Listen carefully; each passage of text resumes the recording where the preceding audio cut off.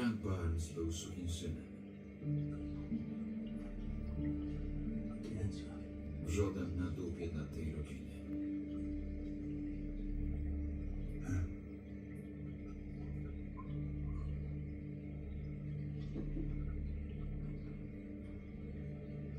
Co zrobisz w sprawie Bridget? Mówiłem, pracuję nad tym. Co zrobiłeś? To on żyje? W Ameryce Południowej. Wrabiasz go w zabójstwo? Bridget wyjdzie przed wieczorem. Dobrze.